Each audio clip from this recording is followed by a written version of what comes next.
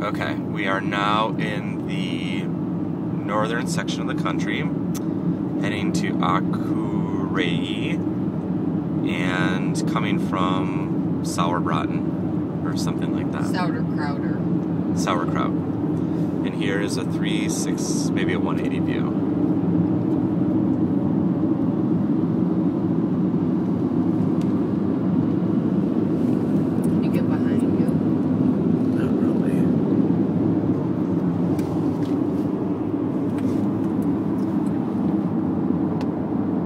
There's nothing to see behind me.